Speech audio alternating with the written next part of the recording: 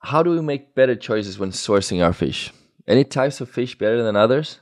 Yeah, locally. But that's hard, right? How do you find it? One of the benefits of the COVID epidemic is Mm. that it it really uh, primed the pump for a lot of direct marketing.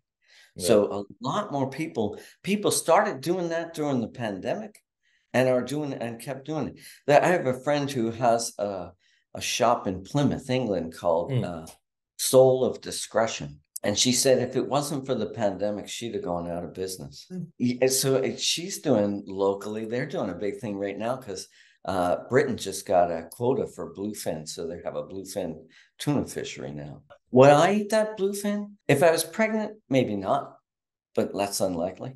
but would I have a plate a little sushi? Yeah, you know, I mean, at that price, how much of it am I going to eat, right? you know, Right. Yeah. it was my own home water bluefin. You know, I I would eat it. I think there's a certain, you know, as well as nutritional value. I think there's a certain emotional value, um, to eating uh good fish close to home that that you have that you can establish a connection with.